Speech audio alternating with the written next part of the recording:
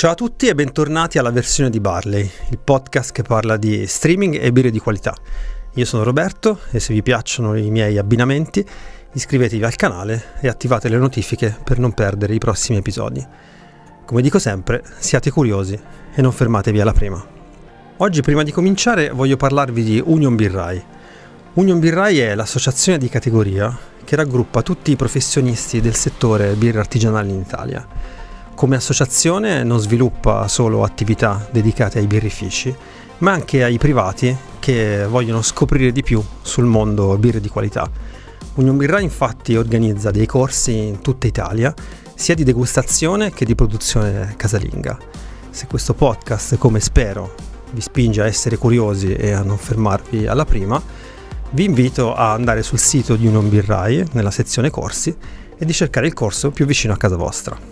Oggi parliamo di un film del 2022, o forse dovrei dire del film del 2022, attualmente disponibile sul canale iWonderful, accessibile tramite Amazon Prime Video. Il film si intitola Everything Everywhere All at Once, è diretto dai Daniels, è interpretato dal Michelle Yeoh, Kei Hui Kwan, Stephanie Shu e Jamie Lee Curtis. Protagonista del film è Evelyn, un'immigrata cinese negli Stati Uniti che gestisce una lavanderia a gettoni con il marito Waymond. I due hanno una figlia, Joy, che è una adolescente omosessuale che con grandi difficoltà eh, sta cercando il suo posto nel mondo, anche perché eh, sua madre non accetta la sua omosessualità. In realtà Evelyn della figlia non accetta proprio niente, perché Joy è eh, nata in America, è 100% americana, mentre Evelyn è ancora un po' legata a delle tradizioni e a dei dogmi un po' retrogradi tipici della società cinese, soprattutto riguardo alla famiglia e alla sessualità. Dalla Cina arriva l'anziano padre di Evelyn per festeggiare una festività cinese e Evelyn è terrorizzata che il nonno possa scoprire l'omosessualità della nipote e quindi chiede alla figlia di non essere gay almeno finché eh, il nonno è in casa e questa richiesta non fa altro che eh, aumentare la distanza tra madre e figlia, figlia che si sente sempre più sola ed emarginata. Anche il rapporto tra Evelyn e il marito scricchiola. Il marito Waymond è una persona molto gentile, sorridente, positiva, ottimista, mentre Evelyn negli anni sembra aver perso il gusto eh, delle piccole cose, sembra essersi indurita mm, sotto una coltre di stress e preoccupazioni. L'universo di Evelyn inizia quindi a uh, scricchiolare da più parti. Eh, oltre al rapporto difficile con il padre e con la figlia, c'è anche il rapporto un po' scricchiolante con il marito, che tra l'altro vorrebbe il divorzio. In più ci si mette un eccentrico esattore delle tasse, interpretato da Jamie Lee Curtis, che trova delle irregolarità nella dichiarazione dei redditi che riguarda la lavanderia gettoni e minaccia di chiuderla. Nel momento di eh, massimo apice di tutti questi punti di stress, la personalità di Evelyn si splitta in due. Noi vediamo letteralmente la donna uscire dal suo corpo e finire in un altro universo, un universo parallelo. In questo altro universo c'è un'altra versione di suo marito che le, che le, dice che lei è l'unico essere vivente del multiverso in grado di fermare una terribile minaccia. C'è infatti una entità malvagia chiamata Jobu Tupaki che ha acquisito il potere di essere ovunque e in qualunque momento contemporaneamente nel multiverso e vuole usare questo potere per distruggere il multiverso stesso e lasciare al suo posto un buco nero che poi non è un vero buco nero ma è un gigantesco bagel andato a male. Evelyn inizia così a viaggiare da un universo all'altro e a vivere tutte le esperienze delle sue versioni alternative. C'è un universo in cui è una maestra di kung fu, in un altro è una famosissima attrice e in un altro ancora ha degli hot dog al posto delle dita de- delle mani e ha una relazione amorosa proprio con l'esattore delle tasse. Ma il viaggio nel multiverso non è privo di pericoli. Infatti Evelyn è inseguita da una versione malvagia di suo padre e da Joe Butupaki stesso, che non vuole interferenze con il suo piano di distruzione. Finalmente, dopo un turbinio di arti marziali e salti spazio-temporali, arriviamo al confronto faccia a faccia tra Evelyn e Joe Butupaki e con nostra grande sorpresa scopriamo che Joe Butupaki è una versione alternativa di Joy, la figlia di Evelyn. Nel multiverso, infatti, esistono mm, infinite versioni alternative di noi stessi e queste versioni alternative prendono decisioni diverse rispetto alla versione alfa, creando così delle linee spazio-temporali diverse da quella che noi consideriamo la realtà. Nella teoria del film, viaggiare eh, in un universo parallelo vorrebbe dire incontrare una versione diversa da noi. Invece, Joy per sfuggire alle sue inquietudini adolescenziali e soprattutto alla sofferenza di non riuscire a creare un rapporto con sua madre, ha iniziato con la mente a viaggiare nel multiverso e in ogni universo parallelo ha trovato la stessa distanza e eh, lo stesso pregiudizio della madre nei suoi confronti. Quindi in pratica non esiste un universo in cui Evelyn accetta la figlia e questo ha creato il paradosso di Jobu Tupaki e ha creato anche un sentimento nichilista in lui eh, che vuole distruggere la realtà.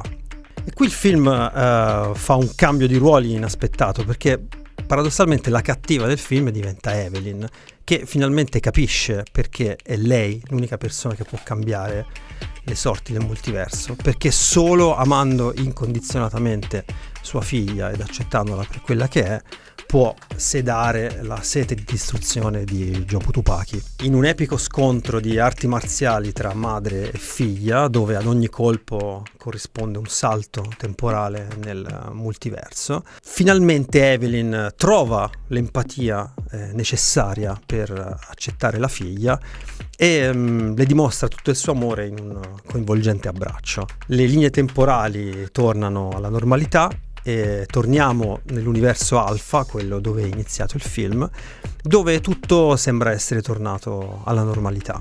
Evelyn accetta la figlia per quello che è, addirittura Joy presenta al nonno la sua fidanzata. Anche tra Evelyn e il marito Waymond eh, le cose sembrano essere tornate a posto e addirittura eh, l'esattore delle tasse decide di dare una seconda possibilità a Evelyn di presentare la dichiarazione dei redditi e quindi anche la lavanderia a gettoni è salva e quindi un lieto fine a tutti gli effetti. Everything Everywhere All at Once è un film molto strano, eh, non posso dire che mi sia piaciuto, però ve ne consiglio comunque la visione. A livello di temi e contenuti è molto ricco, la metafora dei salti nel multiverso, per eh, sfuggire alle proprie inquietudini adolescenziali è molto forte. La realizzazione da un punto di vista tecnico è di altissimo livello è un film di fantascienza, spostato più sul umano, ma è comunque un film di fantascienza, che però predilige molto gli effetti speciali pratici. Eh, ovviamente c'è del digitale, ma non particolarmente invasivo, e questo dà al film un'aurea mm, molto anche molto ironica. Il cast è assemblato alla perfezione e le scene di arti marziali sono veramente coinvolgenti. Però se devo trovare un grosso difetto a questo film è che è un film esagerato. È esagerato in tutto Ogni inquadratura ti riempie come una grande abbuffata e alla fine del film sei sazio ma in, modo negativo, come se tu veramente avessi mangiato troppo. Quello che non perdono a questo film è che seppur nasca da temi ai quali tutti ci possiamo rapportare e nei quali tutti ci possiamo ritrovare, il rapporto difficile con la famiglia, l'accettare se stessi nell'adolescenza, ha una messa in scena di questi temi troppo espositiva.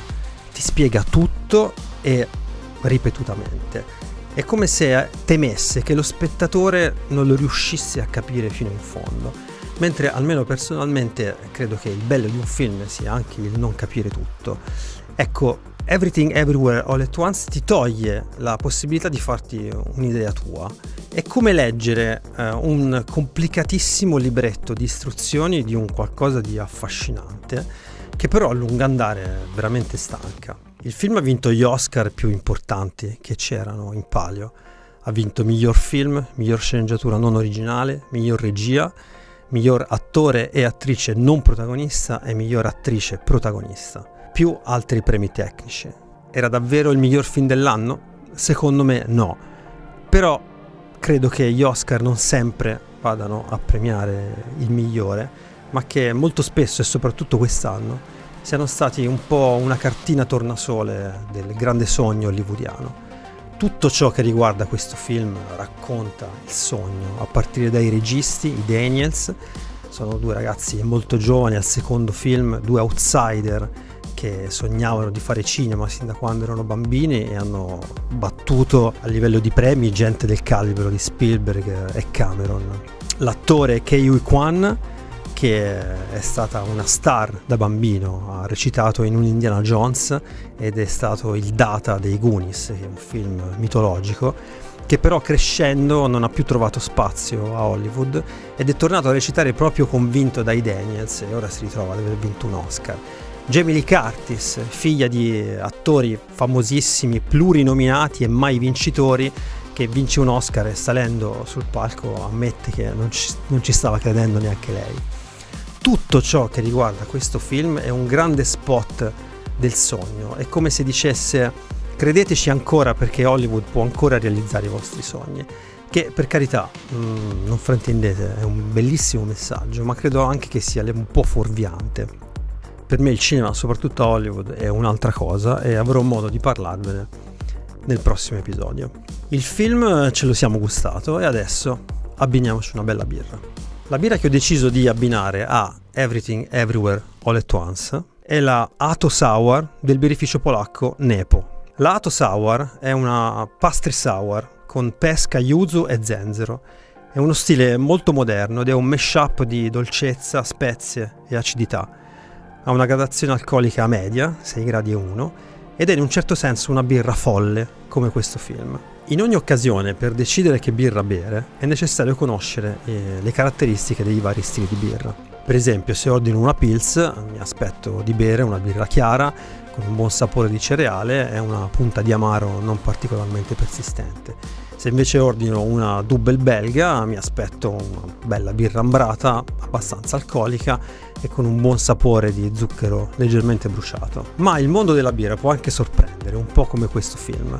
Esistono anche quei casi in cui ordini una birra e non sai che cosa andrai a bere.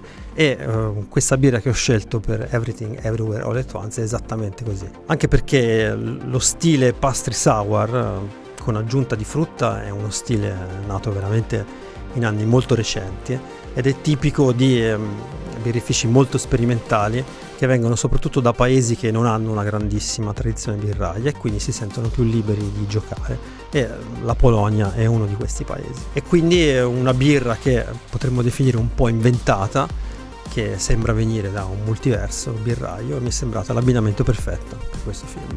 Ricordo ancora di andare sul sito di Union Birrai per vedere se ci sono dei corsi di degustazione o di homebrewing vicino a casa vostra per coltivare la vostra curiosità. Dalla versione di Barley è tutto, buona visione, buona bevuta, non fermatevi alla prima.